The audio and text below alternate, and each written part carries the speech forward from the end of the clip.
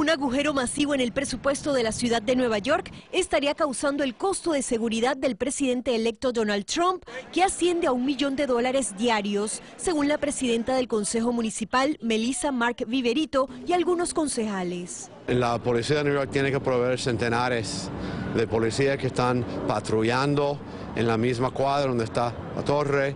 Por toda la zona están cerrando calles, averiguando los autos que entran y salen. Es por esto que le piden al gobierno federal que corra con los gastos a través de una petición en change.org que ya cuenta con miles de firmas. Que es un gasto que la ciudad no puede, no puede seguir en esto todos los días. Nosotros tenemos muchas personas que están desamparadas para darle a Trump eso. Trump tiene el dinero.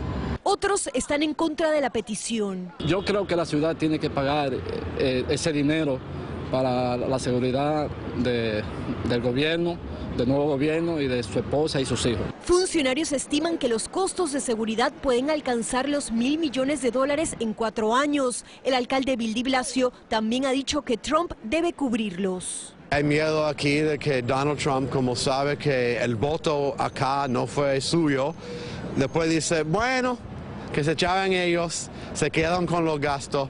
Eh, no podemos permitir que pase. Aunque Trump asumirá el cargo como presidente el 20 de enero en Washington, D.C., se espera que la primera dama y su hijo menor vivan en Nueva York hasta que culmine el año escolar. En la ciudad de Nueva York, Peggy Carranza, Univisión.